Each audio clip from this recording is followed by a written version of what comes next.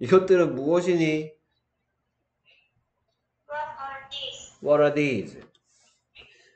예. What are these? 그래서 these의 뜻은 뭐고? 이것들. 이것들 안만 길어봤자 네.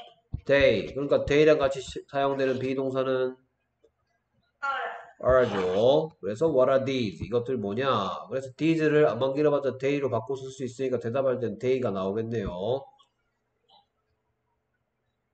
They are my books. They are my books.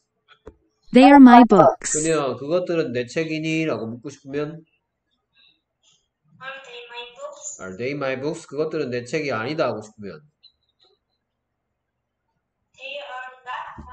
그렇지. They are not my books. 계속해서 나의 여동생과 나의 형은 공원에서 뭡니까? To my sister and my brother.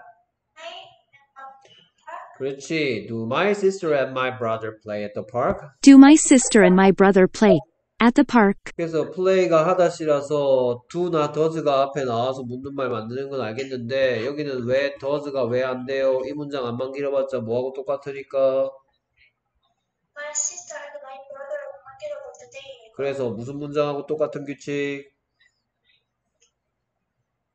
My day play at the park. Do they play at the park? 뭐라고요? Today Do they play at the park? 하고 똑같은 규칙. 그 다음, 계속해서, 그래, 걔들 공원에서 노는데, 안만 길어봤자 해서 대답하래요. Yes. They play at the park. They play at the park. 오케이. 그랬더니, 어떻게 노는데? How do my sister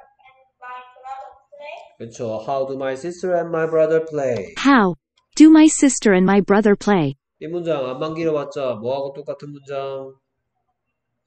How how do they play? 그렇지. How do they play? 그랬더니, 즐겁게 놀아요. They play joyful. They play joyfully. They play joyfully. 오케이. 오늘 세 번이나 나눠서 했어. 다음번에는 한 번만에 합시다. The 예, 할머니 집 잘, 댁 잘 다녀오고요. 안녕. 수고했어요. 음.